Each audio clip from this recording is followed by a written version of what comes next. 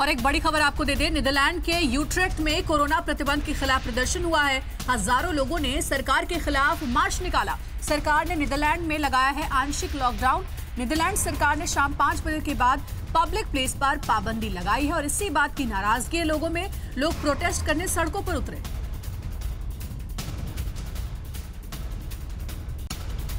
अड़ी, सोमवार से शुक्रवार शाम छह बजे, सिर्फ़ टीवी नाइन भारतवर्ष पर।